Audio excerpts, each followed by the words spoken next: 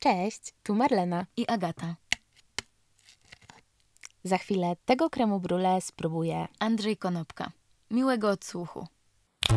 Tyra, tyra, tyra, tyra, tyra,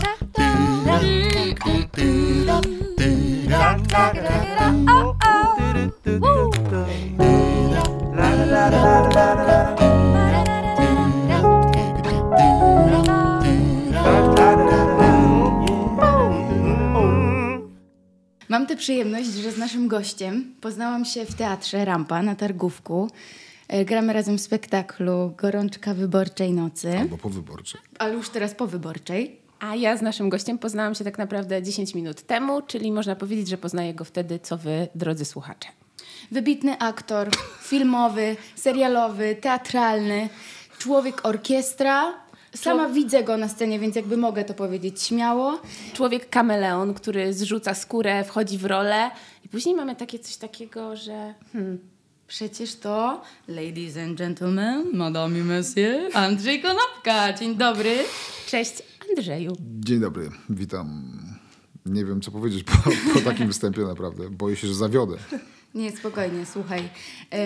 I to właśnie Andrzej Konopka wpadł dzisiaj do nas na creme brulee. Dokładnie tak. Skoczę po niego. Skocz po creme brulee. Wcale nie wpadłem, tylko przyjechałem specjalnie. No tak, no tak, no można tak powiedzieć. E, I od razu cię prosimy, żebyś ocenił to totalnie szczerze. Okej. Wiemy, że to, to jest nasz pierwszy creme brulee w, życiu. życiu. Więc naprawdę to jest... y, Dobra. Więc A ty chyba, skoro lubisz creme brule- to już ich trochę w życiu zjadłeś. pierwszy, pierwszy efekt, efekt e, jest... e, Pierwsze wrażenie jest bardzo dobre, bo mm, jest e, ta glazura z wierzchu Czyli udało się, tak? pęka pod naciskiem łyżeczki, więc, więc spoko. No no, krem jest aksamitny. Świetnie zbalansowany. Państwo tego nie widzą, ale to jest podane z, z trzema malinkami i listkiem mięty. To jest po prostu sposób podręcznikowy. Więc naprawdę jestem zachwycony. Myślę, y, że jak na pierwszy to... Jak na pierwszy To raz jest rewelacja, naprawdę. jest nieźle. Ale było ciężko? Trochę się bałam tego pieczenia na parze, bo tam trzeba te kokilki zalewać wodą, Tak. ale I nam trochę opadł po Opadł. nocy. bałyśmy co- się, że Po on- nocy, Tak, bo był w w lodówce. Czyli w lodówce opadło. Tak. Tak, w lodówce. To tak miało opadł. być chyba, bo jest świetne. Bardzo się cieszymy. Ale tak właśnie przy tym, jak chrupiemy sobie i trochę mlaskamy, bo my tak mlaszczemy, zawsze to źle mówię. Mlaszczemy. Kontroluję, bo mam tutaj słuchawkę w uchu. Czy wszystko dobrze słychać? Halo, halo, baza. Wszystko dobrze słychać? Słuchaj, studiowałeś na AWF-ie w Warszawie, tak? Następnie przez rok pracowałeś w ogóle w szkole jako WF-ista. Trafiłeś potem e, do Teatru Nowego. Jak to się w ogóle stało, że z drogi takiej trafiłeś na drogę teatralną, aktorską? No, widzę, że był przeprowadzony jakiś research. Był research? Nie wiadomo. Te wszystkie anegdoty, które przygotowałem i odgrzałem, już teraz y, szlak trafił po prostu. Wszystkie wywiady przeczytane, więc słuchaj, jakbyś Wszystkie coś trzy. mówił. A kto wie, może słucha nas twój uczeń, y, którego uczyłeś w UF-u. Bardzo możliwe. E, no tak, tak to było. E, znaczy, to jest oczywiście długa, długa historia. E, ja na, mm, będąc w czwartej klasie w Ogólniaku, e, który to Ogólniak kończyłem w Radomiu, nie wiedziałem kompletnie, co ze sobą zrobić. E, Nie wiem jak teraz, ale wtedy jakoś tak w okolicach właśnie no, tego okresu świątecznego pytali nas nauczyciele, jakie mamy plany, gdzie, mamy, gdzie chcemy zdawać i tak dalej. Ja coś tam zacząłem bredzić, e, ponieważ jako dziecko dużo e, czasu spędziłem w szpitalu. I bardzo mi się to podobało, mm, że ten lekarz w tym szpitalu jest w centrum uwagi w ogóle i tak wszyscy na tego lekarza czekają. Więc tak e, powiedziałem, że, że może pójdę na medycynę, nie? Ale jak się dowiedziałem potem, ile na medycynie trzeba się uczyć i to, ile to trzeba wiedzy przy- przyswoić z chemii, z biologii i tak dalej, potem tej anatomii, no to się z tego wycofałem e, i kompletnie, tak jak mówię, nie wiedziałem, co ze sobą zrobić, a ponieważ lubiłem e, sport, to sobie wymyśliłem, że pójdę na AWF. Ale jak się okazało, na AWF-ie też trzeba przyswoić trochę wiedzy. e, z Też trochę anatomii. Moja Tak, siostra też- studiowała O, AWF. proszę. Gdzie? W Krakowie? W Krakowie, tak. W Krakowie. No to pewnie zdawała A słynny... czekaj, ona nie w Krakowie, ona w Rzeszowie. W Rzeszowie. W Rzeszowie. O, To jak ja zdawałem, to tam jeszcze nie było w Rzeszowie chyba AWF-u. No dobra, ale wymyśliłem, że AWF, no i, i się nie dostałem, nie? Na AWF zdawałem do, chyba do Krakowa. Pierwszego, za pierwszym razem, za drugim zdawałem do, do Warszawy, też nie dostałem.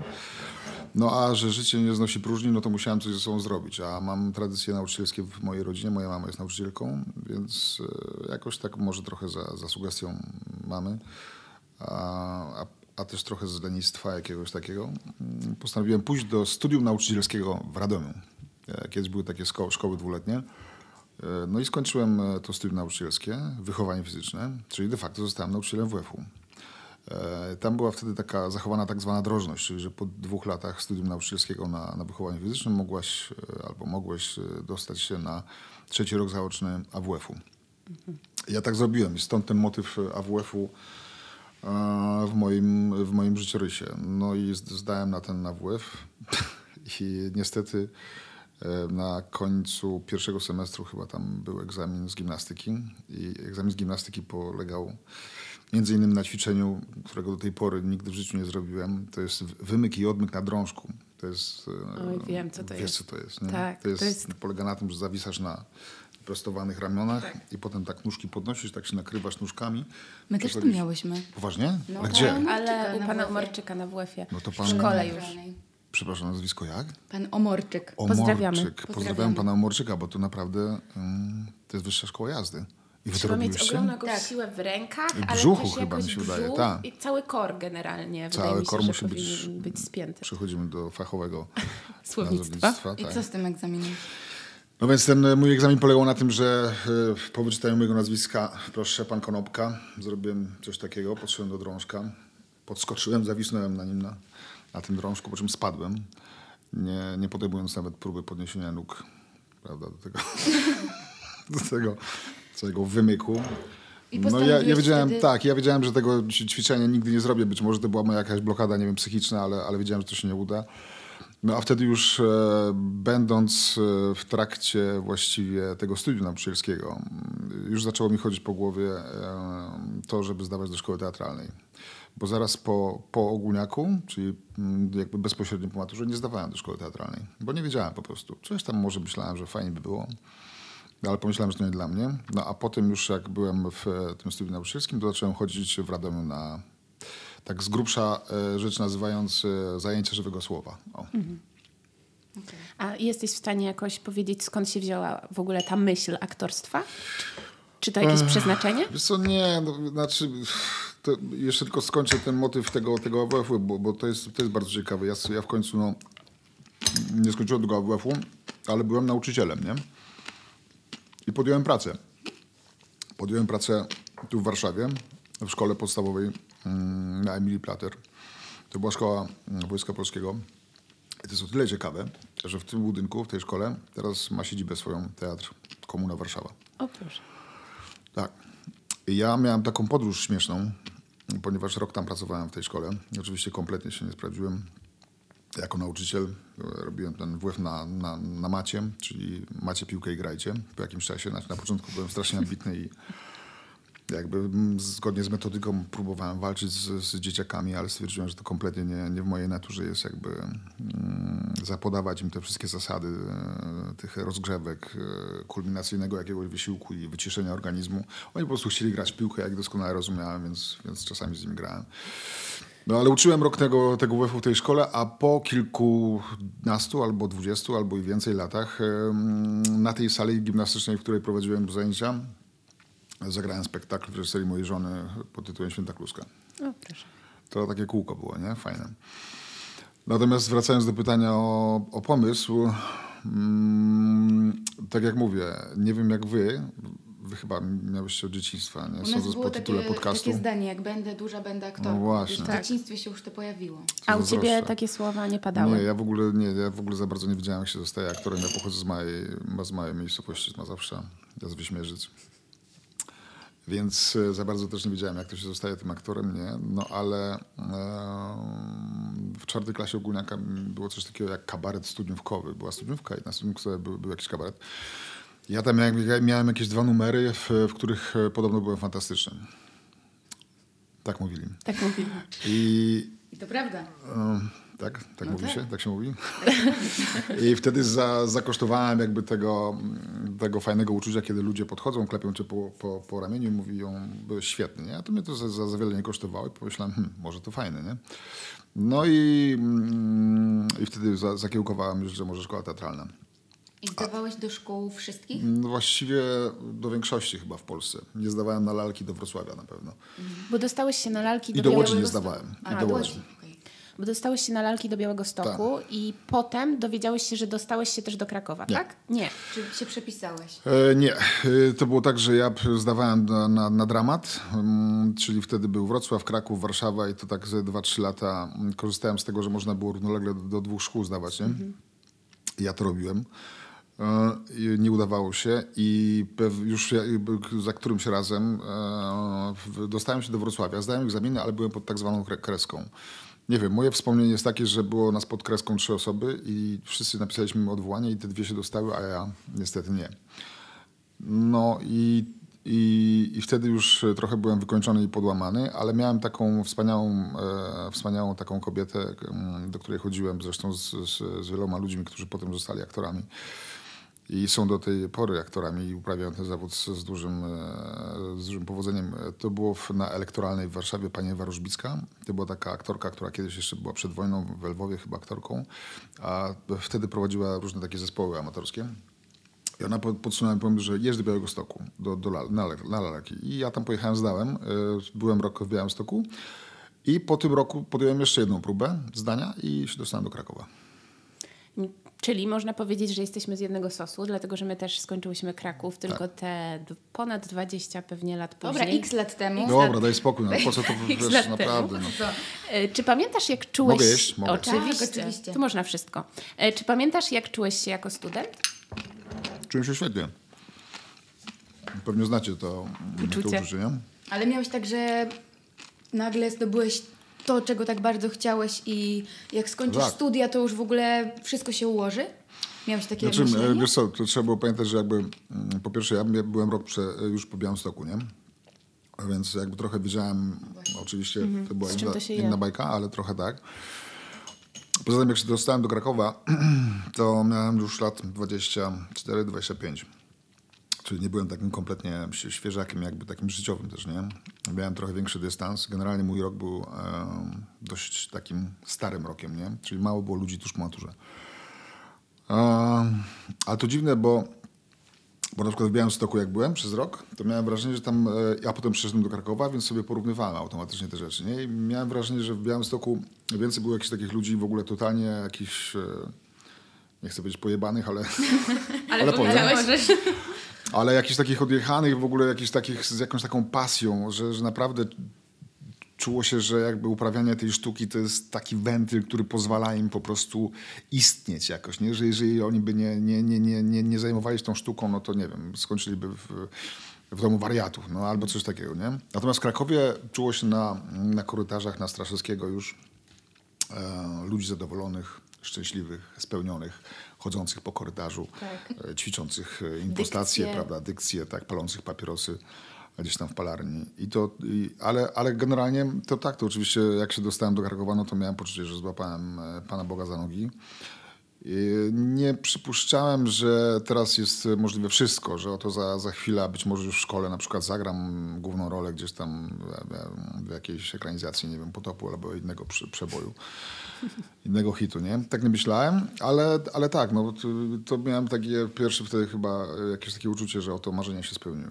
A jak wspominasz swoje egzaminy do szkoły teatralnej? Też miałeś wtedy trzy etapy? Tak, tak. Z tym, że teraz z tego co wiem, to jest w ogóle chyba jakoś tak, że pierwszy etap to jest na, na tejpach, nie? Self-tape, No właśnie, tak. tak. Co moim zdaniem oczywiście... Nas jeszcze to na szczęście ominęło. Tak, my jeszcze tego nie znamy, no bo to są jest takie po- popandemiczne tak, po ustalenia, że te pierwsze ten pierwszy etap jest online. No tak. To jest ciekawe. Znaczy ja to rozumiem jakby ludzi ze, ze szkoły, którzy zawiadują tymi egzaminami, no bo to jest duże ułatwienie, bo trzeba pamiętać ile osób zdaje do, do szkoły, nie? To ponad tysiąc. No tak, właśnie. ponad to, tysiąc okej. na 27, 8 No miejsc. przy, no właśnie, to jest przy, przejrzenie tych wszystkich ludzi jakby na żywo, to jest e, duże przedsięwzięcie logistyczne i czasowe i w ogóle, nie? No ale, ale, ale, ale tak to wtedy wyglądało. Jeszcze chyba wtedy tysiąca nie było, ale jakoś tak też było tam kilkaset e, ludzi nie? na te 20 parę. No i jak, jak wspomniałem egzaminy? Było stresująco? No było, no przecież sa, same to, któreś prze, to- przeszłyście, nie? Po- Poza tym jakby, no już, ale to jest, to jest ciekawe też, bo ja trochę tak wy, wychodziłem z, z takiego założenia trochę głupiego, ale też takiego podlanego tym sosem takim, który się dostaje w szkole, że oto twórca, artysta e, w Polsce działa w jakimś e, porywie, w, jakiejś e, po prostu przypływie ja- jakiejś energii.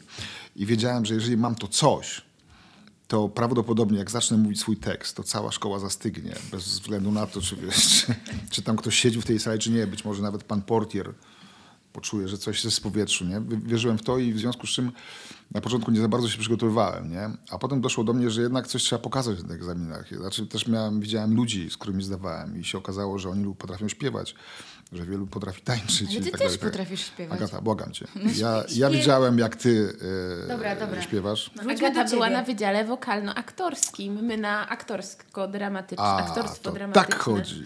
Więc to... Ja miałam te y, trzy godziny więcej śpiewu. Tak. Okej, no ale to widać. To widać. No więc, e, no, no wiadomo, że potem było trochę go, goryczy, jak, jak się nie dostawałem, ale jakoś, e, ale to też było jakby, z, moja determinacja była spowodowana też tym, że, mm, że kiedy zacząłem wykonywać zawód nauczyciela, po pierwsze zobaczyłem, co to jest za, za jakaś po prostu potworna robota. E, I przez to też teraz bardzo doceniam to, co nauczyciele robią. Jeszcze w tych e, czasach takich e, nie, nie najlepszych, nie, niełatwych. Ale po drugie też e, stwierdziłem, że to jest kompletnie nie dla mnie, nie? Więc e, wiedziałem, że jak, że jak zostanę, że jak zostanę w tym, to, to po prostu grozi mi jakaś totalna życiowa frustracja, załamanie, nie wiem, alkoholizm, samobójstwo. Nie no, oczywiście trochę prze- przesadzam, ale, ale jakby wiedziałem, że, jest- że mnie jakoś to zniszczy i, i będę po prostu sfrustrowanym człowiekiem, a tego, tego nie chciałem. A, no i potem oczywiście jeszcze jest ten motyw, że kiedy zrozumiałem to, zdawałem po, po, po, po, już jako nauczyciel, nie? zdawałem do, do tych szkół, nie, nie dostawałem się, to wtedy ta sama Ewa Różbicka podsunęła mi pomysł, że może bym robił e, dyplom eksternistyczny. I wtedy właśnie miałem e, tą przyjemność pójść do Adama Chnuszkiewicza. Czyli do Teatru Nowego to wtedy jeszcze było na Puławskiej, tu gdzie teraz jest e, Carrefour. Tak, znamy te Znak, historie. nasz, Macie? znak naszych czasów. Tak, dokładnie. I, I tam właśnie, no i tam przez rok byłem u tego, u tego Hanuszkiewicza i te, wtedy też to było super w ogóle, no bo w końcu zrozumiałem, czym jest teatr. Oczywiście po, po, po, po roku tam w tym teatrze miałem e, możliwość podglądania e, prób, spektakli, premier. Mało tego, zostałem nawet wpuszczony na scenę w masce kruka, w czarnej pelerynie. No tak, no i to był taki. Obsadziłabym cię w kruku. Bardzo dziękuję. A zrobił to Wa- Waldemar Zawodziński w takim spektaklu, to się nazywa Choinka u Iwanowów. I wtedy po raz pierwszy w życiu byłem na scenie. Oczywiście skończyło się to małą katastrofą, bo, bo przyjechałem. No, to raczej była k- rola jakaś taka bardziej statystująca niż, niż, niż jakiś tam drugi czy trzeci plan. Ale e, moją rolą między innymi było jakieś e, targanie jakiegoś wózka ciężkiego, gdzieś tam przejazd przez, przez scenę tym wózkiem. No i w stresie jakimś, e, w tej masce kruka, niewiele widząc, w pelerynie zaplątany, przyjechałem po nodze wybitnej aktorce. Starszej, już nie żyjącej. Więc wszyscy na bankiecie na mnie patrzyli jak na zbrodniarza. Ale nic się nie stało. Nie, nie, takiego no znaczy wiesz, to podobno noga była zmasakrowana. To była naprawdę wspaniała aktorka. Już nie, może nie darujmy sobie nazwisko, ale to świetna osoba, świetna aktorka. Ale ja jej przyjechałem ciężkim wózkiem po, po nodze. Mało tego jeszcze mm, chcąc jakby przeprosić, kupiłem bukiet róż czy tam kwiatów i zapukałem do garderoby na drugi dzień. Usłyszałem proszę i wszedłem i wtedy zobaczyłem ją w takim dość mocnym negliżu. Więc był kolejny fuck up. Wykrztusiłem tylko przepraszam, rzuciłem kwiaty i uciekłem. Ojej. A, a propos nazwisk, z kim najlepiej wspominasz zajęcia ze szkoły teatralnej?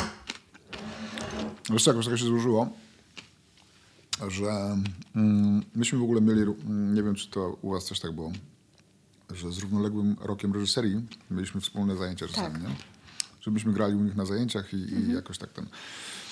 I jakoś tak się złożyło, że wtedy spotkałem Mikołaja Grabowskiego, który wykładał na reżyserii, a z nami miał też sceny i z nim robiłem dyplom. I on chyba... Mm, generalnie jest coś takiego... Z nim robiłeś dyplom? My gdzieś wyczytałyśmy, że robiłeś dyplom z Janem Peszkiem. Tak, robiłem... Też, dwa Też. dyplomy. Dwa to wtedy, dyplomy, tak. wtedy były budżety, robiło No się A, to, a wyście po, po jednym? My po jednym. Naprawdę? Nie, to ja robiłem dwa. Z Grabowskim robiliśmy z, e, opowiadanie Czechowa, a z Peszkiem robiliśmy No. Iwonę, tak. Zresztą ty też grałeś w Iwonie. Tak. U pani Hajewskiej, E, ale to o- razem, obie, grałyśmy. Tak. Bo my byliśmy właśnie razem na zajęciach u pani Hajewskiej. Okej. E, ze sceny. Tak, ze sceny i robiliśmy Iwonę. Ja byłam Ale szambelanem. Ja też grałem No Szambulana. właśnie, ale ty Ja byłam królową. Wiadomo. E, i mną potyrałaś jako szambelanką. Mściła się? Mściła się. byłam okrutna. Wiadomo. Wiadomo. Tak. Dobrze, wróćmy do ciebie, bo zaczęłaś mówić e, O- o Mikołaju Grabowskim, O Mikołaju tak. Grabowskim, tak. No tak, znaczy ja, ja nie wiem, czy wy, wy coś takiego macie też jakby z całym szacunkiem też dla ludzi, którzy uczą w szkole, ale no tam spotykasz się z e, kilkunastoma ludźmi w trakcie czterech lat, może dwudziestoma, może dwudziestoma pięcioma, trzydziestoma osobami. I tak naprawdę ja, ja mam takie poczucie, że jakby z, e, z całej tej grupy, znaczy każda coś tam daje, ale takie nazwiska osoby, które zostają ci w, w głowie jakby, to masz ile? Kilka. No właśnie, jeżeli nie trzy na przykład. Na, na palcach jednej ręki, No. myślę. I tak było też w moim wy- wypadku i właśnie Grabowski jest na, na pewno tą osobą, która, która jakby na mnie e, wywarła na chyba największe, największy wpływ na, na, na, na to, co można powiedzieć, co można nazwać moim aktorstwem. Nie? A co to były za zajęcia? Co to były za zajęcia? To były sceny jakieś. No a potem to był dyplom. I na tych scenach, tam to był chyba trzeci rok chyba, to było wspaniałe, bo pierwsza, pierwsza uwaga od Grabowskiego to, to było, mam, mam w dupie wa- twoje aktorstwo. Ja mówię, jak to? Znaczy masz taki szok, no przecież jestem aktorem, e, jest się aktorem po to, żeby grać. No i co się okazało, że, że jakby, że nie do końca, nie? I właśnie to Grabowski mnie uczył, nie wiem czy skutecznie, bo to jakby trudno mi jest oceniać, ale tego, że jakby w scenie jakby nie, najmniej ważne jest twoje aktorstwo, czyli te wszystkie miny i te, te, te, te, te, tak zwane tak, aktorzenie, tylko po prostu załatwianie sprawy, no krótko mówiąc, oczywiście w dużym skrócie, załatwianie sprawy w, w scenie przez postać, nie? I skupienie się na temacie, a nie na tym, jak wyglądam, jak, jak noszę kostium i tak dalej, i tak dalej, bo to są rzeczy wtórne. No. Oczywiście mówię to w, w dużym skrócie teraz. A czy jak byłeś w szkole, to mówiło się o tym, że ten zawód do najprostszych nie należy? Nie należy? No tak, to się mówiło i to się zawsze mówi i chyba się mówić e, będzie, bo, no bo tak jest chyba, nie? Ale też, e, wiecie co, ja bym e, też nie, nie przesadzał, bo jakby ja uważam, że to jest super zawód. E, Oczywiście ma swoje, ale to każdy zawód. Zawód kierowcy, zawód lekarza, e, sędziego i tak dalej, i tak dalej. Każdy zawód ma chyba jakieś swoje ciemne jasne strony. I tak jest też z tym zawodem. No, na pewno jest to mm, jakiś taki no, wyjątkowy zawód. No. I tuż w po szkole? y, trafiłeś do Teatru Słowackiego w Krakowie. Mm, tak, ale ja tam nie miałem etatu. Aha, czyli byłeś tam gościnnie, można powiedzieć. Tak. A dostałeś się tam, bo dyrektor gdzieś cię zobaczył, przyszedł do szkoły, czy byłeś na jakimś castingu? Nie, no właśnie wiesz co, to było tak, że e, nie wiem jak teraz też pewnie tak jest, że e, Mikołaj Grabowski właśnie coś tam zaczął robić w Słowaku. E, mm, zaczął robić, dobra, już nie pamiętam co, ale zaprosił mnie do tego, żebym tam się kręcił gdzieś w, trzecie, w trzecim planie. Do premiery nie doszło, no ale gdzieś tam e, gdzieś chodziłem na, na, na próby mm, przez jakiś czas do tego Słowaka. E, A potem e, mój kolega Rem, Rem, Remek Brzyk, Remik, Remigiusz Brzyk, Remigiusz Brzyk zrobił rzeźnię. Ja tam zagrałem główną rolę tego skrzypka. To, to było na małej scenie w Słowaku. Nie? No i to był właściwie mój taki pierwszy poważny debiut. Duża rola, takie bite dwie, dwie 15 godzin na, na, na scenie, właściwie non-stop. I to wtedy miało właśnie miejsce w Słowaku. Ale zaraz po szkole nie miałem, trochę szlifowałem bruk, nie? I to miałem taką paczkę jeszcze właśnie ode mnie z, z roku, z ludźmi. Jakoś tak się poskładało, że myśmy nigdzie nie poszli. Zostaliśmy w Krakowie. Żyliśmy z jakichś chałtur, bardzo często z grania bajek. Dla dzieciaków był taki lokal, Chimera to się nazywało, z sałatkami i oni w niedzielę mieli na przykład coś takiego, takie poranki dla dzieci, nie? No i myśmy tam obstawiali mm, te poranki. A czy miałeś takie jakieś napięcie w sobie po szkole, że ciężko będzie znaleźć tę pracę, czy zawsze wiedziałeś, że w pewnym momencie po prostu zaczniesz grać? E, nie, no tego się nigdy nie wie. Znaczy, jest coś takiego, że ja, ja wtedy miałem lu- tak zwaną luźną łapę, nie? W, w sensie, że nie miałem e, w ogóle kompletnie napięcia, że jak mi się nie, nie, nie miałem, przede wszystkim nie miałem żadnego planu i mało tego uważam, że to jest... e, nie to super, ja lubię łapać Właśnie światło. miałam wiesz, powiedzieć, planie że właśnie. wyszło słońce pierwszy Tak. raz od tygodnia, akurat jak jesteś u nas. Przypadek? Naturalny Nie światło, sądzę. pięknicie. Dobrze się prezentuje? Bardzo. Tak, ale chcesz, Super. możemy ci trochę Nie, przygasić. jest okej. Jest okej? Mogę wyjąć ciemne okulary zawsze. No. Mogę zrobić tak na przykład. O. Jestem. możesz. Trochę widać, nie widać teraz. Widać, trochę Mogę widać, dać półcienią. E, tak, o czym E, mówiliśmy. no właśnie. Wracając do tego, czy, czy czułeś właśnie, że Tak. będziesz grać, czy nie będziesz grać? Luźną łapę. Luźną Luźną łapę łapę. miałem i mało tego właśnie, ja uważam, że, że kurczę, to co ludzi gubi, znaczy nie chcę się wymądrzeć oczywiście tutaj z perspektywy już tych 30 lat po szkole i tak dalej, ale się trochę wymądrzę, bo, no bo po to tu jestem. E, Jest coś takiego, że chyba nie, niezdrowo jest zakładać e, sobie, znaczy takie tak zwane planowanie kariery, nie? To, co gdzie indziej w korporacjach może ma sens, tak przypuszczam, że w e, przypadku aktorstwa może tylko doprowadzić do, do frustracji, nie? Znaczy ja brałem życie jak leci wtedy trochę. Nie zakładałem, że po rok, dwa, trzy po szkole to będę tu, albo osiągnę to, albo zdobędę tą nagrodę czy tamtą. Po prostu żyłem i, i, i mało tego nie miałem w ogóle, że tak powiem, ciągu ani parcia na przykład na Warszawę, nie? To, co teraz, e, jakby to jest naturalne, ja to rozumiem, bo tak jest, taki jest show biznes w, Polsce, że, że no, znaczy bardzo jakby warszawocentryczny, nie? Że ludzie, którzy chcą jakby tam coś tam więcej w filmie, czy w serialu, czy gdzieś tam, Niestety dobrze jest, jak e, oczywiście to nie kasuje, jak nie, jak nie jesteś, ale dobrze jest, jak, jak jesteś w Warszawie, nie?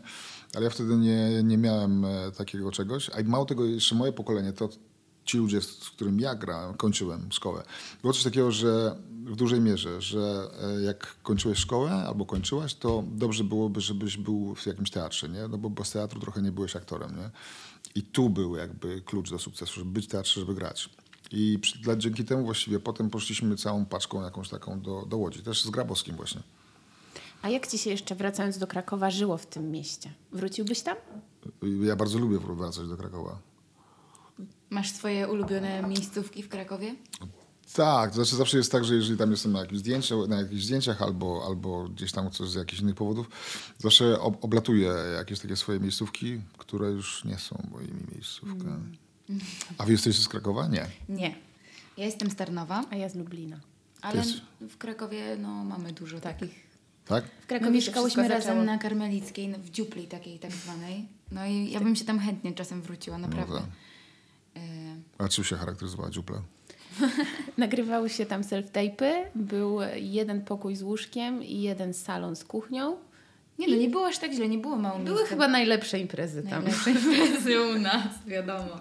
A ja mieszkałem na Pomorskiej, to się szło tam karmelicką, zdaje się. A, bo, tak, no. tak, tak. To bo tam dalej. jakbyście kończyły, to pewnie akademik był na warszawskiej już, nie? Tak, Tak, tam też chwilę mieszkałyśmy w ogóle. No, ale w tak. akademiku. No tak. A ja bym się jeszcze wróciła do tego dyplomu z Janem Peszkiem, bo ja Tak. jestem bardzo ciekawa Twojej perspektywy jak, e, spotkania z nim, bo ja miałam tę przyjemność na szczęście spotkać Mhm. się z nim w czasie pracy. I pamiętam, że on zawsze nam mówił coś takiego przed wejściem na scenę, że trzy przysiady i jazda. No tak. Że nie ma co się w ogóle Patyczkować. patyczkować z tym i wkręcać w jakieś stany psychiczne, nie wiadomo, rozkminiać, tylko trzy przysiady, jazda, grasz. Tak, no wiesz co, no, trzeba pamiętać, że e, oczywiście e, Jan Peszek jest jednym z tych kilku nazwisk, któ- który, które też na, na, na mnie wywarły w szkole.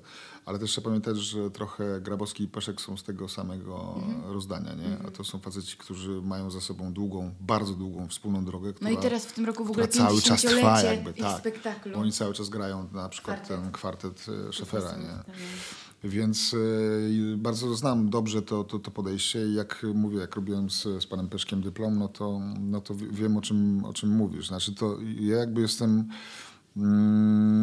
zwolennikiem tego właśnie, że e, chociaż to też różnie, ale, ale, ale jakby e, nie za bardzo lubię jak e, przed wejściem na scenę ktoś mi się każe w jakiś stan wprawiać, wiesz.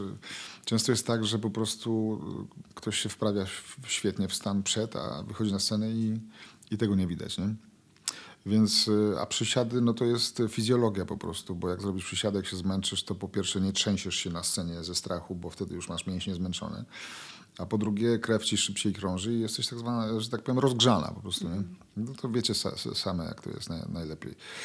No i a z, z, z Peszkiem też to, też to było super. No, to jest e, aktor e, jakiś taki, który uczy właśnie jakiegoś takiego naprawdę no, rzemiosła aktorskiego, jak o, mówiąc o tych ry, rytmach wewnętrznych, o rytmie, o rytmie w scenie. No nie, no to, to du, du, dużo by gadać, no. No i przede wszystkim wspaniały człowiek. Tak. A czego nauczył cię Jan Peszek? Jan Peszek życiowo? Życiowo, nieżyciowo? Aktorsko. No, wiesz co, tak trudno mi od razu powiedzieć, czego mnie nauczył e, Jan Peszek, ale e, przede wszystkim e, pracowitości. Znaczy, w ogóle jak patrzę na, na tego człowieka, ile on, e, pomimo swojego wieku, ile on dalej robi, i jak pamiętam go z Krakowa, że, że, że, że żeby się gdzieś z nim umówić, gdzieś nam no, po, po, po zajęciach, no to naprawdę trzeba było. On jest cały czas aktywny, nie? I jakby to, że on się tym, z tym swoim aktorstwem nie, nie patyczkuje. Znaczy nie, nie stawia go gdzieś na piedestale, ale jednocześnie to aktorstwo jest taką jakąś integralną częścią jego życia. No bo trudno sobie wy- wyobrazić Jana Peszka bez, y, bez aktorstwa, nie? Bez, bez, bez teatru. No to może tego, nie wiem. Oczywiście dużo rzeczy zawodowych mnie nauczył, no bo pracowaliśmy właśnie, jak już uzgodniliśmy, na, na, na Gombrowiczu. Y, Ja bardzo lubię Gombrowicza i w ogóle to, co też on o Gombrowiczu nam mówił i tak jak nam no, tam próbował po, pokazywać, jak grać tego Gombrowicza, no to było super, odkrywcze i, i, i to zostaje na całe życie. A czy uważasz, że teraz jest prościej zostać aktorem, czy kiedyś, czy to się zmieniło na przestrzeni lat? Myślę, że jest teraz tak jest samo? prościej, ale to jest chyba, wiesz co, to się mi się wydaje, że to, się, że to się wiąże trochę z pewną dewaluacją tego zawodu. E, nawet wczoraj gdzieś w garderobie miałem z kolegami aktorami ta, taką rozmowę mm, a propos krytyki na przykład te, teatralnej czy filmowej. Nie? Znaczy dzisiaj jest trochę tak, też między innymi przez pewne so- social media, że każdy może wyrazić swoje zdanie i każdy jest tak naprawdę krytykiem. Tak. I ja mogę skrytykować Meryl Streep na przykład, powiedzieć, nie podobało mi się. Nie? Wytniemy to potem i będziemy, Myślisz, że, że Meryl Streep może to oglądać? Może, do Może się nie obrazi. Może się nie. Wiemy jej, że to żart. No właśnie, to żart oczywiście. Ale, ale jest coś takiego, że jakby e, nawet e, jak ludzie, którzy piszą, nie? Znaczy, często tak jest, że szuk, szukam na przykład jakiejś recenzji jakiegoś spektaklu w, w, i nie mogę niczego znaleźć. Znaczy, nie mogę znaleźć jakiegoś, jak, jak, czy, czegoś, ko, cze, czego bym uwierzył, bo da, bardzo dużo ludzi pisze o aktorstwie, nie znając się na tym po prostu. I, jakby, no ale też z drugiej strony jakby jest coś takiego, że w tym zawodzie właściwie aktorem może zostać e, właściwie Każdy. każdy. I to jest może fajne, ta Ale demokracja. pracować w teatrze nie może każdy. No właśnie tu, się, tu jest, No. wiesz to, jest, to jest ciekawe, bo jakby bardziej demokratyczny, jeżeli chodzi o uprawianie aktorstwa, ja uważam, że jest film. To znaczy jest łatwiejszy. E, możesz tam sobie poradzić bez, e, bez tych wszystkich umiejętności, których nas nauczył Peszek na przykład. Nie? Natomiast e, teatr jest, weryfikuje to wszystko od razu i wyciąga, wyciąga twoje słabości i e, obnaża cię po prostu, jeżeli nie masz tak zwanego warsztatu aktorskiego. No to już jest pewien warsztat. No tak, no zresztą nie, nie, nie jest przypadkiem, że, że w, w, w, przed kamerą, w filmie czy w serialach e, gra bardzo wielu ludzi. Którzy grają też w teatrze. Nie, którzy Nie, grają, którzy którzy, właśnie- którzy nie mają wykształcenia aktorskiego. Nie? A, o Którzy to są bez O to chodzi, tak, tak. Często A, no to, to są to też młode osoby. Dokładnie. Z zasięgami. Na przykład. Grami. Dokładnie. No. No To jest też ciekawe zjawisko. to zmierza, no. Siedem... Więc a, generalnie łatwiej, ale, ale nie wiem, czy to, czy to no, tak jest po prostu. No tak. I mamy później 7 lat serialu na wspólnej. Czy nadal jadąc Boże. metrem e, starsze Tak. panie myślą, że jadą z doktorem Jarkiem? Doktorze. Muszę, Doktorze? muszę dziabnąć trochę creme brulee, bo nie wiem, co powiedzieć. Słuchajcie, no to było nies- niesamowite, bo Naprawdę dobre ci to. Nie no, super, to świetne jest. Cieszę się. Słuchajcie, byłem w tym, e, na zdjęciach w Luksemburgu niedawno. I tam miałem jeden dzień, wolny i to był okres e, takich jarmarków świątecznych. I oni tam, jak się okazało, mówią po francusku w Luksemburgu, ale kuchnię mają bardzo taką niemiecką. czyli te wursty i tak dalej. I ja tam poszedłem na jakiś taki targ świąteczny i kup- kupiłem jakąś tam kiełbasę czy coś i pan, który mi sprzedawał kiełbasę, zagadał, proszę pana, pamiętam, doktor, na wspólnie oglądaliśmy. Mogę sobie fotę zrobić? No i żeśmy sobie zrobili fotę. Ja byłem w szoku, bo, bo szczerze powiem, że ja już czasami nie pamiętam, że to grałem. No ale widocznie robiłem to tak dobrze, przekonująco, że... My pamiętamy. My pamiętamy. Dziękuję serial naszego dzieciństwa. Bez swoją drogą. się tak i... E, Słuchaj, a co oprócz takiej chwilowej, stałej pewnie e, stabilizacji finansowej, które dał ci serial, co ci jeszcze dało taka stała rola w e, serialu? Wtedy? Wtedy to wiesz co, no właściwie... No tak, no główną, główną rzeczą to, to była ta jakaś tam stabilizacja. Znaczy wiadomo, no to jest kolejny duży problem, że tak powiem, rozziew pomiędzy zarobkami mm, w filmie i w, w serialu, serialu. a w teatrze, nie? Ale wtedy, mm, znaczy to jest... e, d- d- da, dawała mi, to się mówi chyba, nowe skille, nie? Znaczy po prostu e, zobaczyłem, jak to jest grać w serialu, no po prostu. I To jest jakaś e, inny rodzaj aktywności w ogóle aktorskiej, zawodowej. Inny sposób trochę grania, no wiadomo, Ile miałeś takich dni zdjęciowych w miesiącu? kilka. Kilka. To nie było dużo, ale e, i to nie było, też nie trwało długo, ale tak, no powiedzmy, nie wiem, 4-5 miesięcy po, po kilka dni. I to, to też trzeba pamiętać, wy pewnie też trochę inaczej e, miałyście w szkole, ale ja na przykład w Krakowie nie miałem. Znaczy miałem taki przedmiot, który się nazywał zajęcia z kamerą, nie? Ale to polegało na tym, że przyjechał z Katowic z Wydziału Operatorskiego między innymi Marcin Koszałka i na przykład sfilmował nasz dyplom, ale sfilmował tak e, po prostu z łapy kamerą, jakoś tak e, nie robiąc żadnych, żadnych zbliżeń, my tego nie oglądaliśmy, on to po prostu jakoś tam zarejestrował, nie? Ale nie było czegoś takiego jak, e, jak praca z kamerą, a przecież granie przed kamerą to jest trochę co innego niż w teatrze, nie? Wy się miały coś takiego?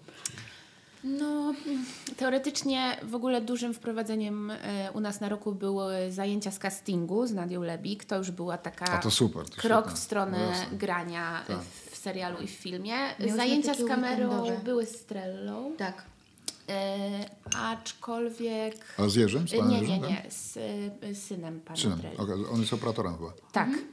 Aczkolwiek to też nie były aż tak intensywne, Mhm. jak na przykład są w Łodzi. Bo w Łodzi rzeczywiście to jest, no, to jest szkoła No dobra, filmowa. e, No i tam to etiudy, wszystko. No tak, ale ja właściwie to było moje takie jedno z pierwszych ze- zetknięć w ogóle. Może moje, które jeszcze nie piłem. Dziewczyny sobie wyrywają szklankę z wodą, słuchajcie. Jedną. E, było jedno z pierwszych moich doświadczeń z, z kamerą, nie? więc ja nie wiedziałem, co to jest e, plan, kontrplan, e, mm, plan zbliżenie, mm, e, mm, jakiś tam plan do, do pasa, plan amerykański, przestawka, przerwa. No to jakieś takie podstawowe, po- to ja się tego, że tak powiem, uczyłem na, na wojnie, w sensie w trakcie W trakcie pracy. w trakcie pracy. No i właśnie też pamiętam, ale też później dostałem genialną wskazówkę a, a propos aktorstwa filmowego. Uważam, że to jest sedno. E, na, na, na, plan, na planie innego serialu z reżyserem, którego nazwiska już nie będę wspominał, bo generalnie to było złe przeżycie, ale on mi dał taką e, wskazówkę. On, coś tam ustawialiśmy się do sceny, mówi, dobra, to sobie wybierz jakąś tam po, po, pozycję, nie? No ja tam się ustawiłem tyłkiem do, do kamery. A on mówi, nie, pamiętaj jedno. Jak widzisz kamerę, to kamera widzi ciebie. I to było genialne. To była kwintesencja, to była kwintesencja Aktorstwa. aktorstwa telewizyjnego. Telewizyjnego. A jak odnajdujesz się w takich okolicznościach jak e, premiery, wywiady, ścianki? Takie ścianki. No to widzicie, jak się odnajduje. Świetnie. Świetnie ci Świetnie. idzie. Znaczy, jestem bardzo zdenerwowany. Jestem bardzo zdenerwowany. Nie wiem, co, co mówić. mówię. Nie wiem, co mówię.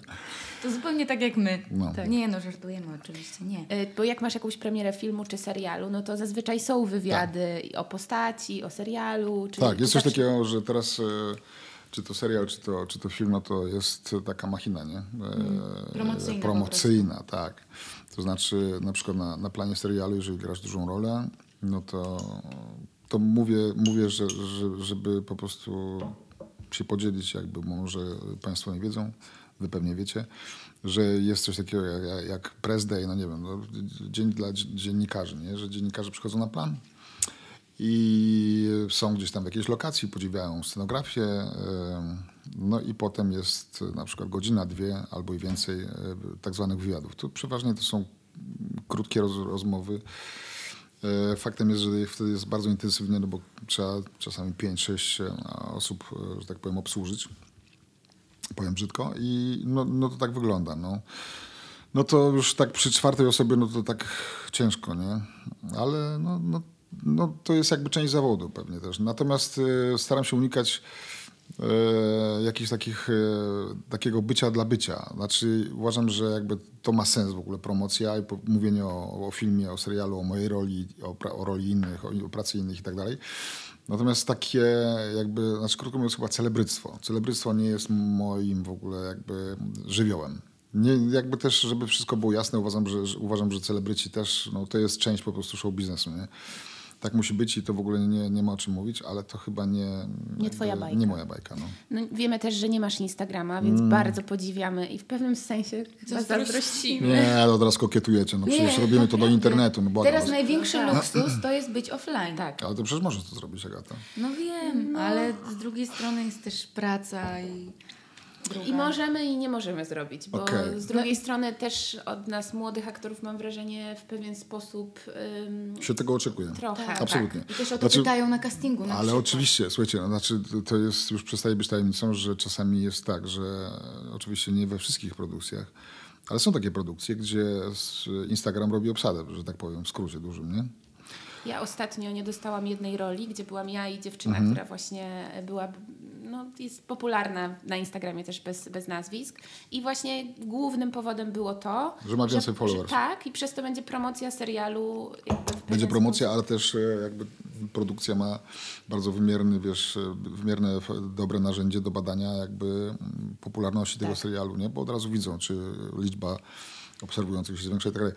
Ale żeby było jasne, ja na przykład nie, nie uważam, że to jest coś, znaczy ja uważam, że takie są czasy, nie? Znaczy nie, nie patrzę na to z pogardą i w ogóle z politowaniem. Ja po prostu, to jest mój świad- świadomy wybór, ponieważ e, uważam, że ja nie jestem e, naturalnie urodzony w tym wszystkim, nie? W sensie ja przyszedłem, to znaczy właściwie to przyszło do mnie, nie? Wy, jak zaczynałyście, no to już to wszystko było, nie? Więc wiecie, jak to funkcjonuje. Ja, e, mało tego, widząc, jak funkcjonują czasami moi rówieśnicy, wolę pozostać offline. offline. Bo widzę, że oni nie za bardzo wiedzą, jak to, jak to działa, nie? Ale też e, zacząłem zauważać, że e, jakby wiele rzeczy mnie omija, jeżeli nie jestem na Instagramie. Że nie wiesz o niektórych. Że nie wiem o niektórych Newsach. rzeczach, nie wiem o, jakim, o jakiejś części świata w ogóle, bo niestety, ale w, coraz więcej rzeczy przenosi się do, do internetu, nie? Na Facebooka, na Instagram, na jakieś inne tam media. Słuchaj, jak zapraszałam Cię do naszego Mhm. podcastingu, pamiętam, to była próba, byliśmy razem w teatrze, trochę się stresowałam, żeby podejść i zagadać, ale w końcu się udało, zagadałam i Ty powiedziałeś coś takiego, że o czym my będziemy gadać ze No sobą? tak. Będziemy gadać o tylko o drugoplanowych rolach i chciałam Cię podpytać o to, czy to jest tak, że masz jakiś niedosyt w tym? Nie. Albo kompleks? Nie, oczywiście, znaczy nie, nie będę kłamał, że nie, nie chciałbym zagrać, nie chciałbym grać samych głównych ról, nie? Ale mm, do tej pory jakoś tak, mm, tak się składa, że no nie, nie gram tych głównych ról. Znaczy mam, miałem tam jeden serial, mm, w którym grałem główną rolę, i jakieś tam dwa, trzy filmy. Bardziej w teatrze może główne role się zdarzały. Ale też jest tak, że te role, które dostaję do tej pory, są tak różnorodne i, i że, że po prostu dają mi za, zadowolenie. A też e, jakby wracając trochę do początku naszych rozmów, nie, nie, nie zakładam sobie, że muszę grać główne role. Nie? Że i- mało tego, im bardziej jestem starszy, dłużej jestem w tym Sosie? sosie, to tym bardziej sobie cenię e, spotkanie z człowiekiem, tak zwane. To znaczy, że już e, nawet czasami, no nie no, oczywiście ważne jest zawsze, co, co, co się gra, nie? Ale czasami są super spotkania ludzkie przy, przy złych produkcjach, nie? I to jest jakby...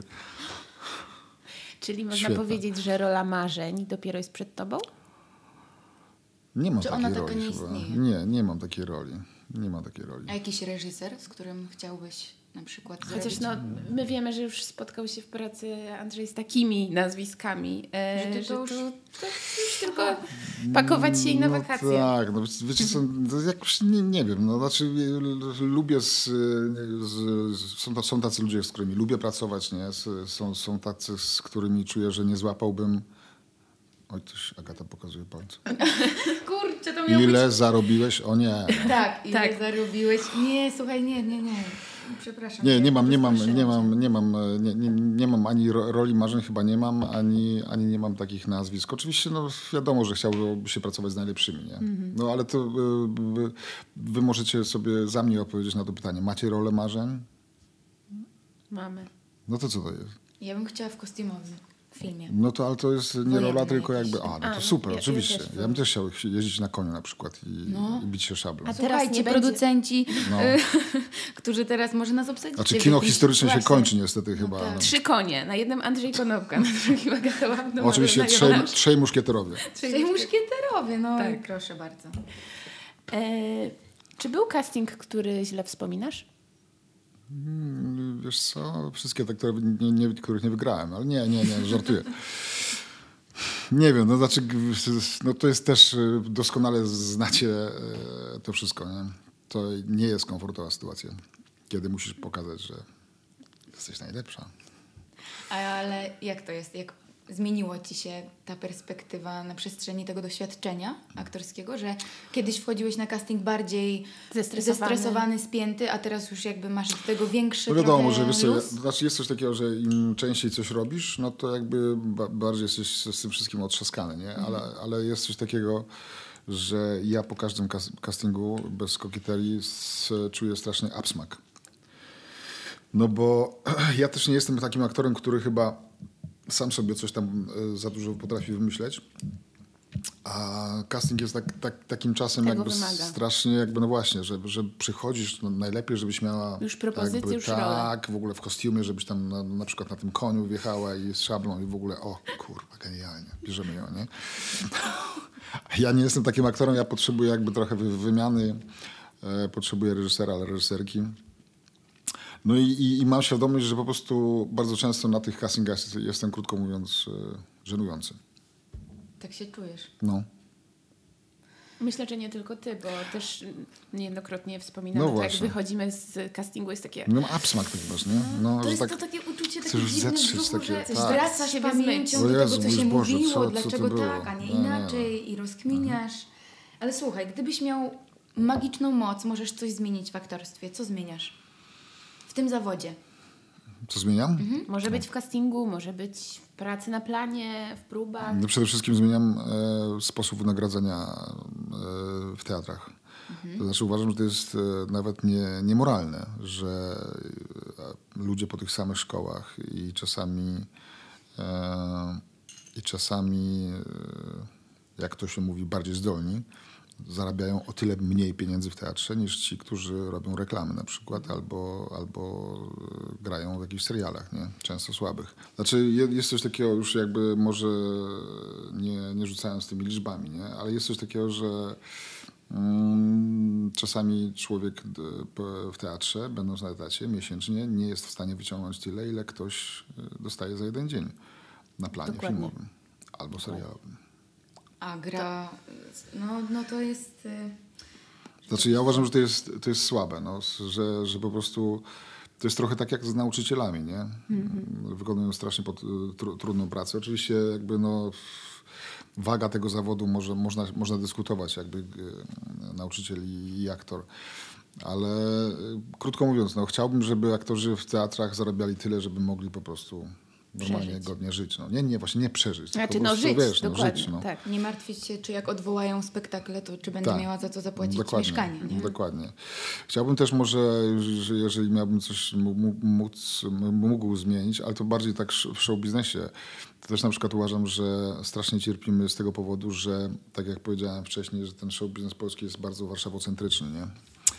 Jest tyle utalentowanych ludzi, e, którzy nie, nie mieszkają w Warszawie po prostu i którzy czasami nie mają szansy być zauważonymi przez, przez castingerów, castingerki, przez reżyserów obsady, reżyserki obsady, które zresztą też czasy się zmieniają i ci ludzie, wspomniana wasza Nadia. Nadia, Lebik, wykładowczyni, e, on, oni jakby już zaczynają wyjeżdżać też z Warszawy i jeżdżą po szkołach chociażby, nie? Tak. E, To też się zmienia, ale uważam, że, że e, polski film i polski serial, no w ogóle show biznes cierpi na tym, że, że, że jakby te, takie skupienie jest tutaj w Warszawie tylko i wyłącznie.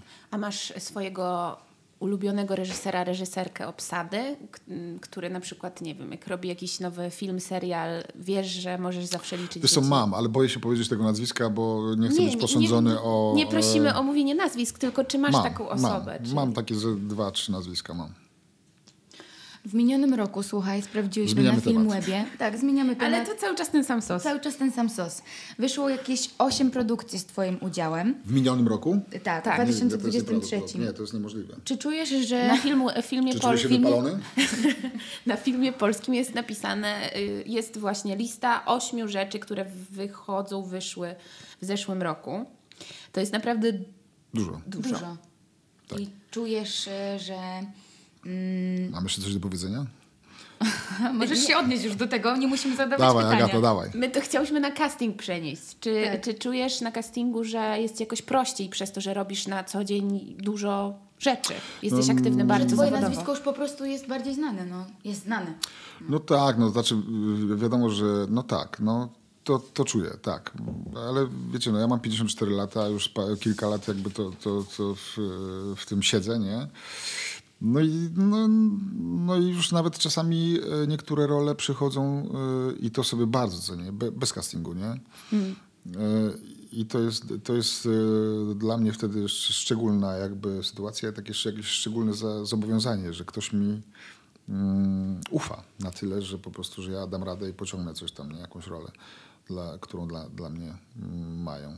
No ale jakby godzę się na, bo takie są po prostu realia tego wszystkiego, no, że czasami niech, bo, bo przecież, no, bądźmy szczerzy, no przecież yy, wiemy ja, ja, jakim kto jest aktorem, no gdzieś tam kogoś widzieliśmy, to wiadomo, nie? A Czasami chodzi o to po prostu, jaka energia, yy, czy energie dwie ze sobą jakby współpracują, krótko mówiąc, czy, czy, czy, czy jest chemia między aktorami, aktorkami i tak dalej, i tak dalej, nie? Czasami takie rzeczy wchodzą w grę, no. Więc jakby też, y, no godzę się na to i mówię, no, no taki jest ten zawód i to trzeba po prostu przyjąć, no. A pamiętasz swój pierwszy casting? Mm, chyba pamiętam. Był stresujący? To było w ogóle coś dziwnego, bo ja y, jeszcze z Krakowa pojechałem do Warszawy, tutaj przyjechałem na, na, na jakiś casting, to był jakiś do teatru telewizji. To jakiś kompletnie bez sensu było w ogóle. Chyba wiadomo, kto to miał zagrać, a no to wtedy jeszcze było jakoś tak, że były chyba pieniądze na, na casting i te pieniądze trzeba było wydać, więc Zrobili zapraszało się casting. tak e, ludzi. A, no, pamiętam, ale, ale nie było to nic szczególnego. Nie odbiło to jakiegoś piętna na twoich późniejszych ka- Może, może jakaś trauma, o której nie wiem, nie wiem. A czy można coś porównać do roli taty? Mówisz o prywatnym życiu? No nie, no to jest w ogóle zupełnie inna przestrzeń i to jest e, kompletnie, kompletnie co innego. A sw- swoim córkom y, poradziłbyś kierunek aktorstwa, aktorski, czy w ogóle im nie narzucasz żadnego wajbu? Nie narzucam. Nie narzucam, ale nie ukrywam, że e, ja mam żonę, która jest też reżyserką. Wiemy, znamy, I tak, no, na pewno jakby rozmowy, które, które prowadzimy w domu, nie ukrywam, dużo, dużo rozmawiamy, no bo wiadomo, jak, jak się w czymś siedzi, to się rozmawia i dziewczyny słuchają tego i to na pewno mm, wpływa, wpływa na nie. Nie mogę za dużo powiedzieć, bo wiem, że one będą to oglądały, więc muszę być bardzo ostrożny. No to co mówisz? Mąż, aktor, żona, reżyserka. Jak wy się dogadujecie w takim związku? No przypuszczam, że tak samo jak mąż kierowca i żona lekarz, no nie wiem, no po prostu jakoś wiesz, no. To chodzi o co innego, nie zawody, tylko połączenie dusz. E, Bywa ciężko oczywiście, no bo, no bo e, jeżeli żona ma zdjęcia, zwłaszcza okres zdjęciowy, nie? No bo to, to wymaga jej fizycznej obecności gdzieś, e, gdzieś gdzie indziej w ogóle, no i tam na przykład miesiąc albo tam ponad miesiąc, nie? No to jest ciężko, zwłaszcza wtedy, wtedy kiedy dzieciaki były małe, mniejsze. Ale teraz już zdaje się, mamy to jakby to, to, to wszystko po, w miarę po, poukładane, ale oczywiście nie obyło się bez różnych przygód, nie? Tak pytamy o to, bo mm, No właśnie, dlaczego o to pytacie? tak, naszym zdaniem y, te artystyczne związki bywają często burzliwe. Masz jakieś i- doświadczenie? Mamy. Jesteście z Z aktorami? czasów studiów. y, nie, nie jesteśmy teraz w związku z aktorami. Chcę się powiedzieć, ciśnie mi się na szczęście. Ale nie. Ale Andrzej przy nas siedzi, więc nie wypada. E, bardziej chodzi o tą rywalizację. Czy ty czujesz, że na przykład, nie wiem, jak twoja żona jest w zdjęciach, y, ma intensywniejszy czas, a ty akurat masz jakiś spokój, przestój, to jest trochę taka zazdrość, czy u was tego nie ma? Ja mam bar- e, bardzo wspierającą żonę, znaczy ona mnie bardzo wspiera. Ja też staram się wspierać ją. E, Chociaż nie ukrywam, że e, jeżeli ona, e, jej pierwszy film był dużym sukcesem i ona gdzieś tam wyjeżdżała na, na te masę Projekcje, festiwali, by- była w Stanach kilka razy i tak dalej, i tak dalej.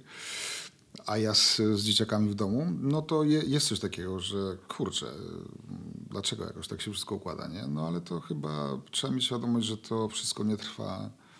Mm, oczywiście w- różnie to bywa, ale to, że to nie trwa miesiąc, tylko że to ma trwać lat kilkadziesiąt. Nie? Czyli jak miałeś taki przysłowiowy przestój w pracy, to jak sobie zapełniałeś czas? Co robisz, jak nie grasz?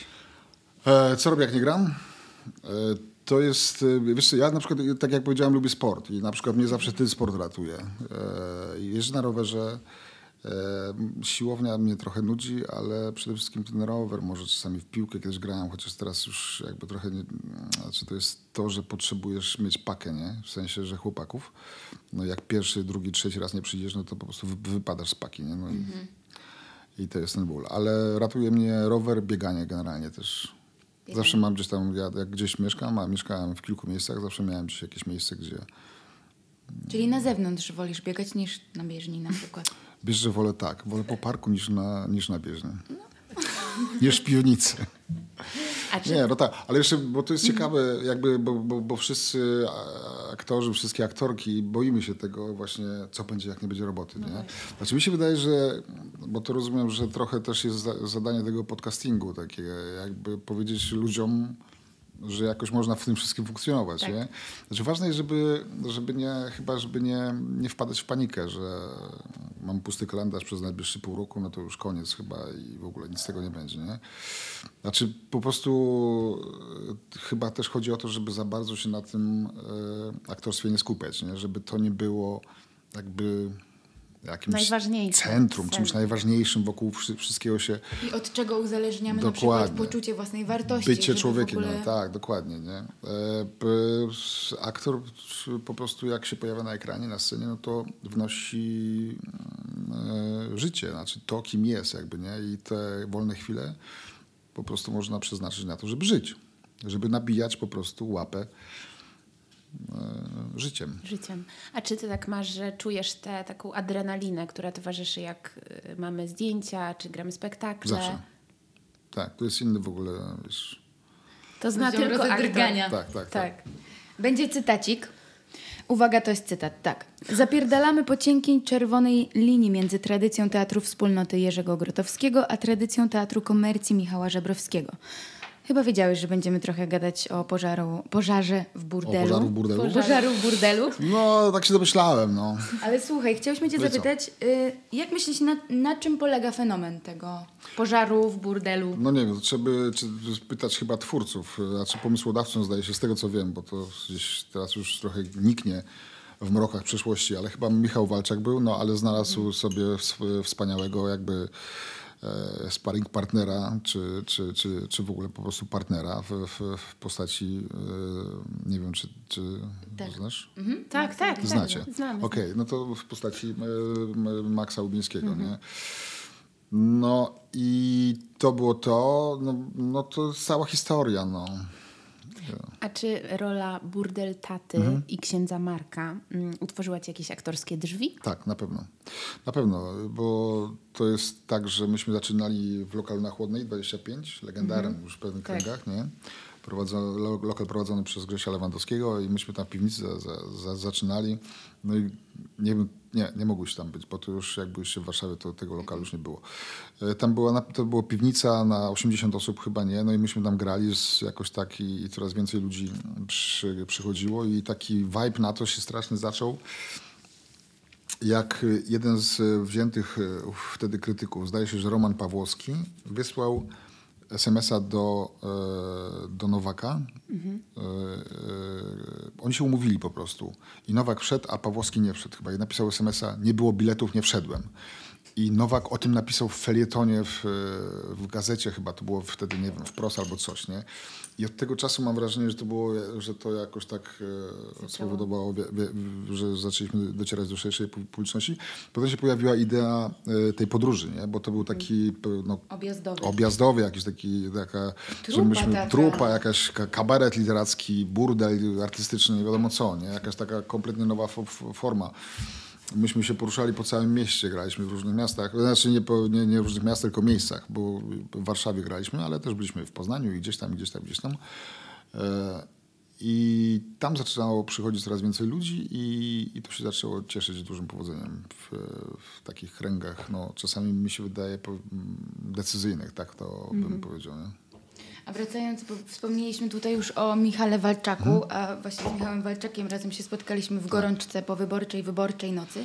No i tam mam przyjemność Cię oglądać na scenie i widzę, jak improwizujesz i bierzesz po prostu z ludzi, czerpiesz. I zastanawiam się, jak to jest, czy jak wchodzisz na scenę z takim bagażem swoim aktorskich doświadczeń, czy jest Ci jakoś łatwiej teraz? Lżej? Lżej? Lżej? Dlaczego lżej? Tak się, no, że jak masz już takie doświadczenie. A, że doświadczenie, to... tak? No wiesz co, myśmy to robili przez e, kilka lat dość intensywnie, więc e, ilość... E, s, ja, ja, ja to, e, jakby wracając do pytania, czy to jest taki, wiesz, jak grasz na przykład, nie? Czy przed kamerą. To jest inny rodzaj aktywności. Znaczy masz coś takiego, że masz... e, No, są, kurwa, no jesteście aktorkami, no to wiecie, że masz e, trochę jakby w innych rejestrach twój umysł zaczyna pracować, nie? I masz taki fokus, jakby skupienie. No nie chcę powiedzieć, że jesteś ostry jak brzytwa, ale, ale, trochę. jesteś Trochę trochę, tak taki, jest. nie? E, I, i, I po tych latach jakby, bo to też e, trzeba pamiętać, że ten pożar był taką formułą, która dopuszczała e, i to ludzie chyba uwielbiali, zwarcie, jakby walkę. To trochę było z, wzięte z takiego jakiegoś stand-upu może. To nie był stand-up, no bo myśmy byli jakąś grupą na, na scenie, ale, ale wszyscy wiedzieli, że oni mogą coś tam krzyczeć, mogą patrzeć w telefony, ale też wiedzieli, że ja mogę e, jakby atakować e, publiczność. Nie? I jakby po, po, po kilku latach takich starć, no, no na- nabierasz e, pe, pewnego doświadczenia i pewnej, że tak powiem, bezczelności. E, w- może mogliśmy ostatnio podziwiać Cię w spektaklu, e, nie w spektaklu, W tylko serialu. w serialu e, Na na Netflixie. Netflixie. O, Tak. zaskoczony jestem totalnie. Informacja zwrotna. Tak, grałem tam. Tak. E, I powiedz nam, jak przygotowujesz się do roli, do akurat tej roli, jak się przygotowywałeś? Czy od początku była wizja doczepienia Ci włosów? Nie, wiesz, przyszedłem na plan w ogóle i coś nie szło i, i padł pomysł, że może załóżmy perukę. Ja żartuję oczywiście. Trochę uwierzyłam.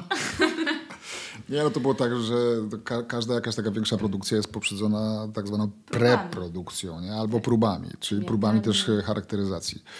No i e, wspaniała e, charakteryzatorka Edyta Wilk e, zaproponowała właśnie to rozwiązanie. To jest zresztą ciekawe, bo ja tą rolę dostałem w spadku trochę po kimś. Ktoś inny miał zupełnie grać tę rolę, z jakichś tam względów nie, nie mógł tego zrobić i ja dostałem tę rolę. No i Po prostu zadzwonili i powiedzieli, Andrzej, bierzesz? tak, ja powiedziałem Biorę. Netflix oczywiście. Halo, panie Netflix? tu ja.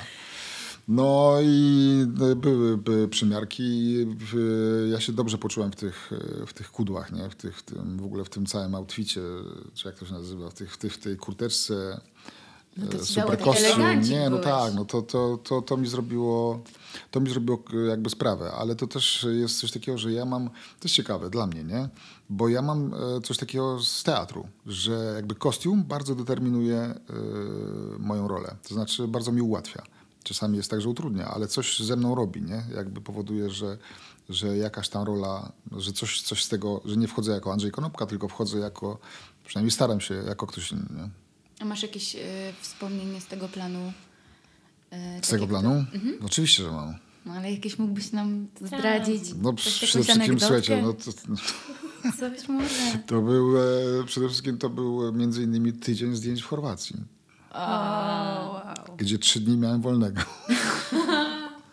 Wspaniały hotel, plaża przy hotelu, e, świetne widoki. taka, ale to też jest ciekawe, e, bo e, wielokrotnie mam e, coś takiego, że jakby ro, robiąc coś tam, serial, film albo coś, jesteś we wspaniałych e, okolicznościach przyrody, nie? I masz takie jakieś zachwianie, że mówisz w Zakopanem albo w Chorwacji, mówisz, Jezus, nie, to jest wspaniale. I trochę jakby chcesz odpalić tego turystę, że chcesz iść kąpać się tam, pływać, iść w góry i tak dalej, ale jednak to jest sytuacja zawodowa, nie? I nie, nie do końca możesz sobie na to pozwolić. I często jest tak, że jesteś e, w jakichś takich świetnych miejscach, ale nie możesz tego trochę jak czekolada przez, przez szybę, nie? Ale w Chorwacji akurat było super. Udało się. Udało się. A czy miałeś kiedyś taką sytuację, że dostałeś scenariusz, propozycję roli i stwierdziłeś nie, nie zagram tego? Tak. Czyli odmówiłeś. Tak, odmówiłem. Znaczy to też e, jakby ja mm, bez przesady często, ale czasami dostaję takie pytania, a jak pan, e, czym się pan kieruje dobierając e, rolę? Więc e, Kreślam to pytanie.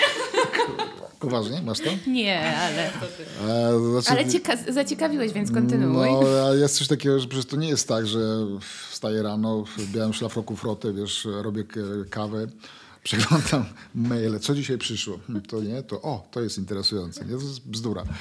Niestety, no jest e, tak jak jest, no więc e, jakby nie, nie ma tych propozycji, mówię o tym, nie, nie ma tego za dużo, nie?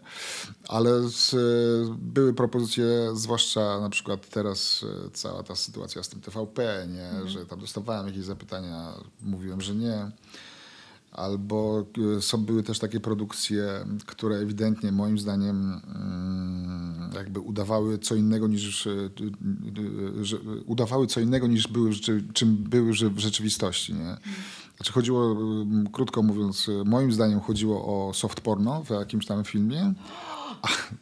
Ale to są tytuły, które były w kinie, a nawet czasami może teraz są.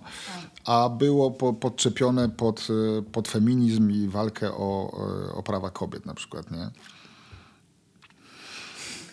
Nieźle. No znaczy, no to jakby z, takie propozycje z, no, no, staram się e, od, odrzucić, nie? Staram się odrzucać. Dobrze- Odrzucam po prostu. Dobrze wiemy, że nie zawsze da się grać role takie, które widz będzie lubił. Czy zdarzyło ci się kiedyś być ocenianym przez pryzmat jakiejś roli, którą zagrałeś? Tak, przez, przez żonę przeważnie. Bo ja zawsze tak, bo jest coś takiego, że ja e, chyba z, po- z powodu swojej fizyczności, jakby nieprzyjemnej twarzy, e, jakiegoś sz- szorstkiego obejścia, gram e, po prostu mężczyzn, którzy gwałcą, palą, piją, zdradzają. Nawet motyw pedofilii się pojawia.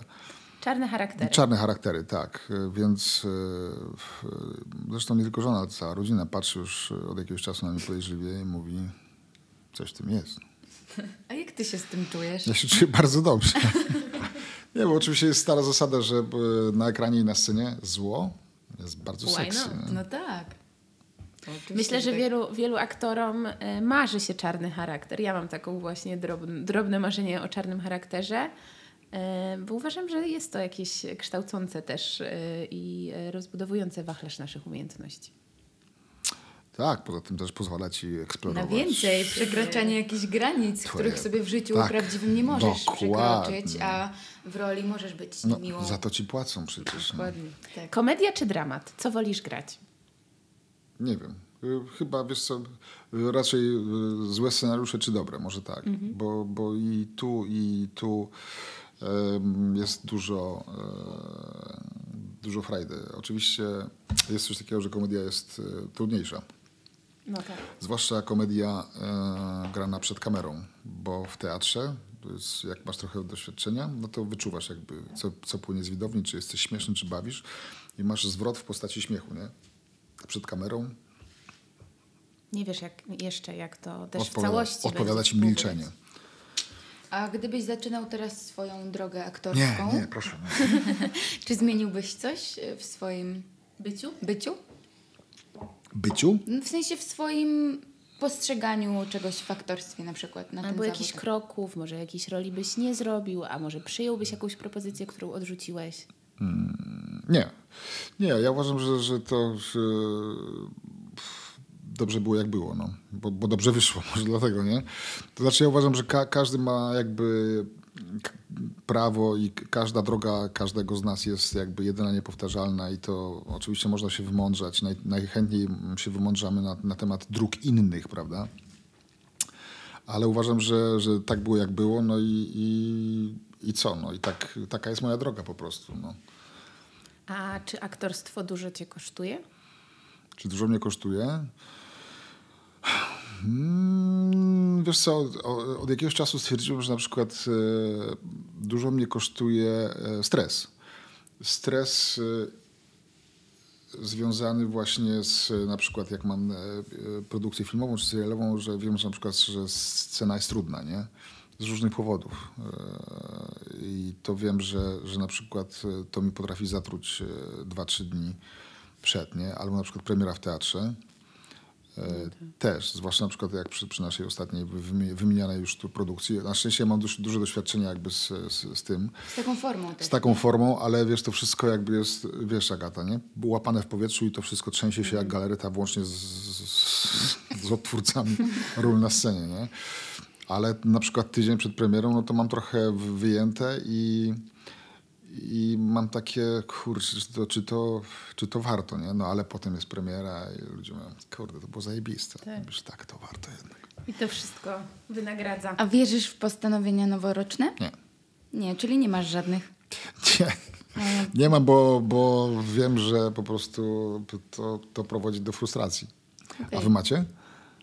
Właśnie ja sobie też nie postanowiłam w tym roku nic. Ja Oczywiście bardziej- miałam w głowie milion postanowień, że teraz to już w ogóle No nie, no cukier, tak, że no. już będę żyła zdrowo, nowe życie, nowy Odstawiasz rok. nowy cukier rok. robiąc podcasting z się nie da. Nie da się. E, Ale, ale ja mam coś takiego, że postawienia, postanowienia noworoczne robię właściwie co, co, co, co dwa miesiące. Co dwa miesiące. Tak. I to się nigdy nie udaje. Znaczy mam tydzień, dwa i zdycha. U mnie zawsze zdycha w czwartki.